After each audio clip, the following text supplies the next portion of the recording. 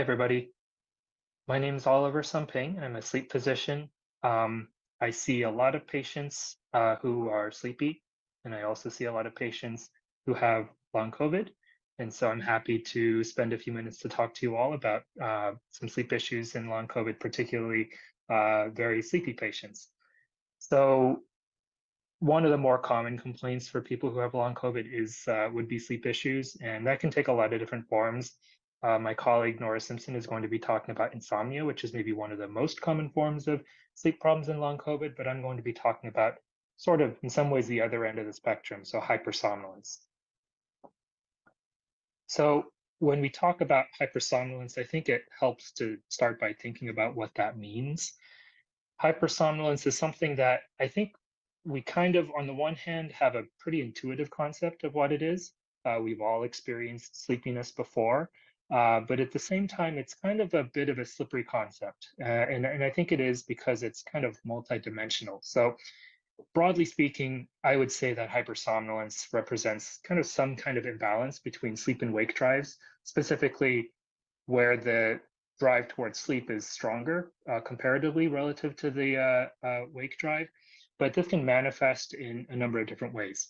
Uh, so for some people, that can just mean an excessive need to sleep. So these are patients who might need to sleep 11 hours, 12 hours, maybe more uh, each night. They might otherwise do pretty okay, but they just really need a lot of sleep at night.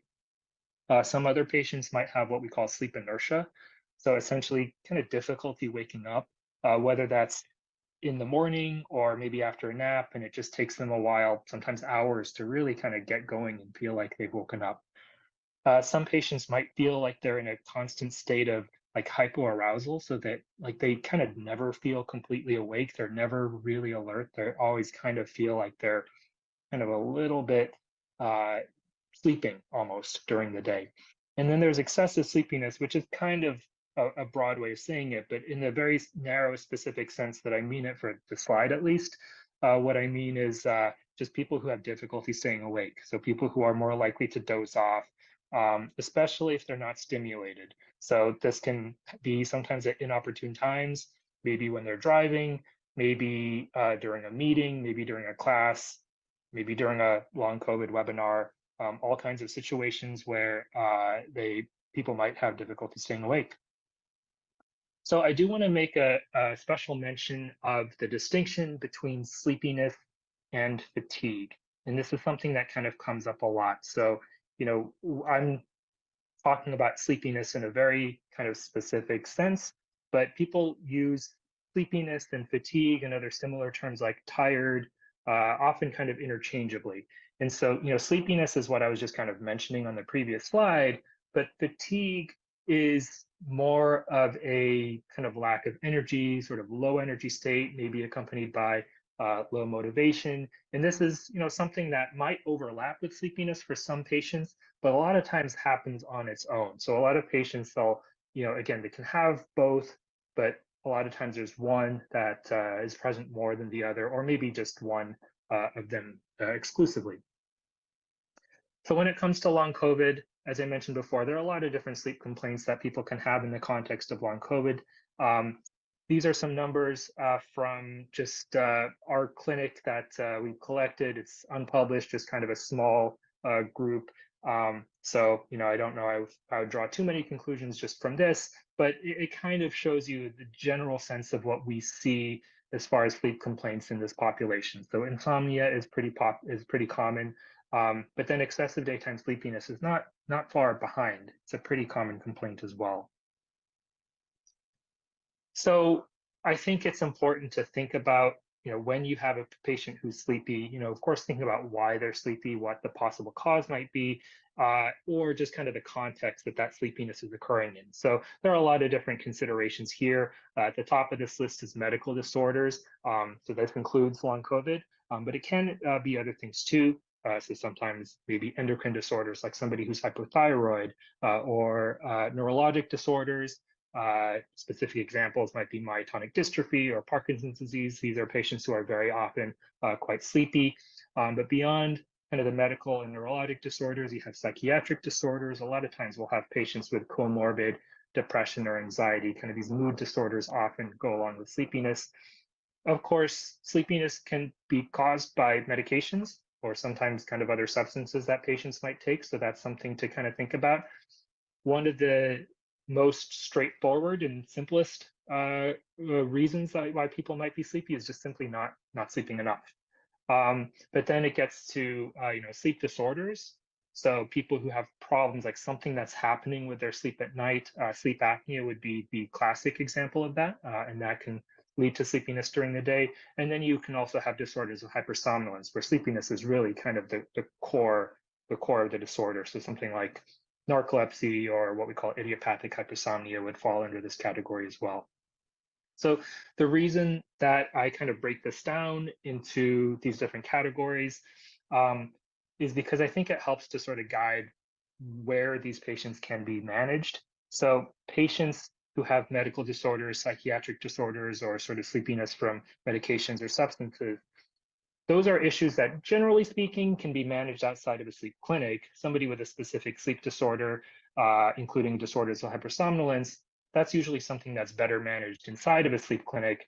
Uh, I put insufficient sleep as kind of an overlap area because like it doesn't take special sleep expertise to advise someone to sleep more, but at the same time, sometimes that's trickier than you might think to really uh, tease out. Like it sometimes takes a detailed sleep history, which uh, can be difficult to obtain sometimes in the context of a busy uh, appointment where maybe a patient has 10 other problems on their list and you have 15 minutes to talk to them about all of these things. Uh, so sometimes uh, it, it doesn't get uncovered until until they have a sleep evaluation. So when you have a patient who comes to you reporting excessive sleepiness, um, you know, before we even get to the content on the slide, I think the, the first thing that I'd be thinking about is what do they mean by that? So like I was mentioning in the first few slides of this talk, sleepiness is a term that's used pretty broadly and can mean different things to different people. So really trying to pin down what a patient means when they say that they're sleepy, or for that matter, if they come to you complaining of uh, fatigue or, or something else, kind of understanding what they mean by that, I think is a good first step. But assuming that they are talking about sleepiness in the same way that that I'm talking about sleepiness right now, I think a good first step to the extent that you can is to try to understand their sleep schedule. So this is something that can tell you a bit about the duration of their sleep and the regularity of their sleep. There are different ways that you can assess this. You can start by just kind of asking them, asking them about their bedtime, asking them when they get up. Um, but something to sort of take it a step further that oftentimes can help is to do what's called a sleep diary. So you can see on the right here uh, an example of, of a sleep diary it's basically just kind of somebody tracking their sleep in some way, kind of filling out a form to try to get a, a, sense of their sleep from night to night. And where this can be helpful is you can kind of better uh, understand the night to night variability of somebody's sleep, as well as maybe trends. And that's something that can be more difficult to pick up if you're just kind of asking, you know, when do you usually go to bed?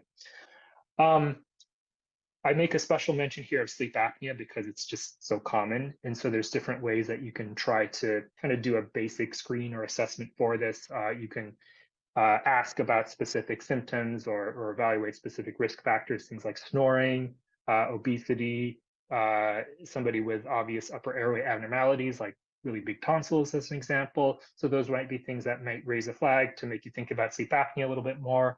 Uh, there are other ways, uh, specific screening tools that have been developed to uh, screen for sleep apnea. So the stop bang uh, questionnaire being uh, one of the more more common ones. And I would say if you you do encounter someone where they, they kind of screen positive or you have some suspicion for sleep apnea, I'd have a very low threshold for referring those patients straight to the sleep clinic. And just to kind of delve into this a little bit further, this is what the stop bang questionnaire looks like. Many of you might have seen this before. I do note uh, in the lower right of the slide here, you can see where you can actually request permission to use this. Uh, so that is something that you're supposed to do for using the stop bang.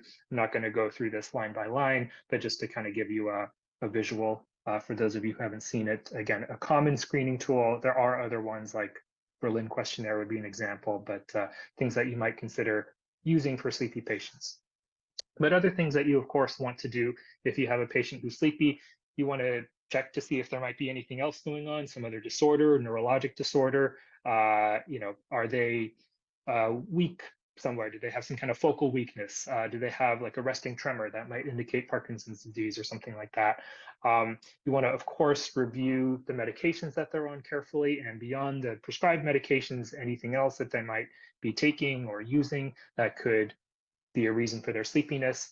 And then you might want to do some labs too. And this is something that, of course, you want to uh, use your clinical judgment for to kind of think about what you test for.